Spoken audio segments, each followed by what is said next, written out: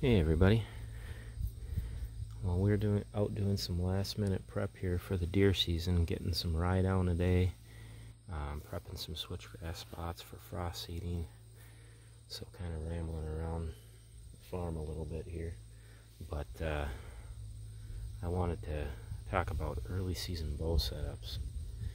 So this is this has been our best early season stand, and what I look for in an early season stand is one green food um, or in the vicinity of green food, not necessarily hunting right on the food.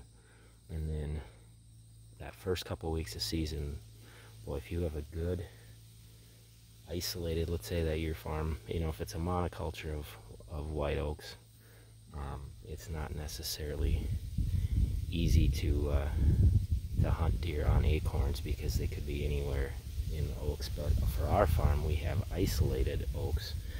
Um, and then to top it off, we have isolated oaks in bedding in a bedding area here. So I look for kind of those isolated oak pockets that also have that security cover, and that's what we have here. So we have some big oak trees down here that are normally loaded with acorns. And then we have nice thick cover down here. There's a lot of different types of shrubs in the forms of, uh, got some chokecherry, gray dogwood, um, some uh, juneberry down there, um, lots of woody regen, lots of oak regen, um, some ash, box elder, things like that. But it's just a great, great brushy bottom with these acorns that are raining down into it. So the deer literally are bedded right there but we can sneak in to the stand. We have an access right through up here um, where we can sneak in kind of in the back door. And I got a sprayed trail coming right up to the stand here and actually get within 50 to 100 yards of where the deer are bedded and um,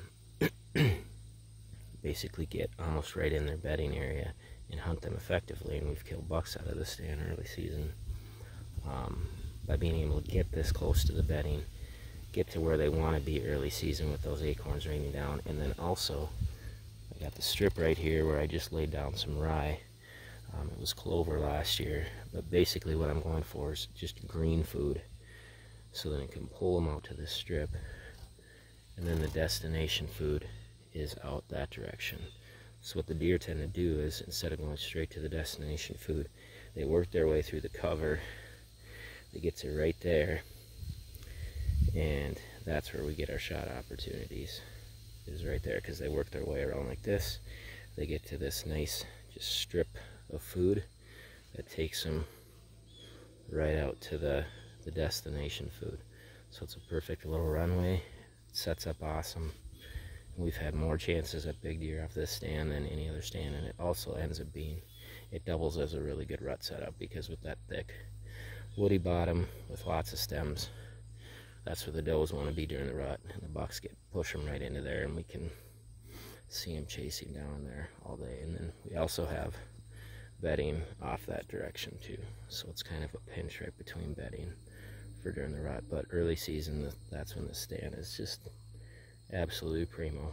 So that's what I'm looking for. I look at acorns look at green food sources um, look at where they want to be bedding because there's there's a lot of fruit trees down there too. So like I said, with the uh, the choke cherries, um, the gray dogwood, things like that, uh, they like to be into that down in that. But uh, just kind of everything they want early season is here. So it, it ends up being a really good stand setup. So that's just one one example of a really good early season stand. You all take care. God bless.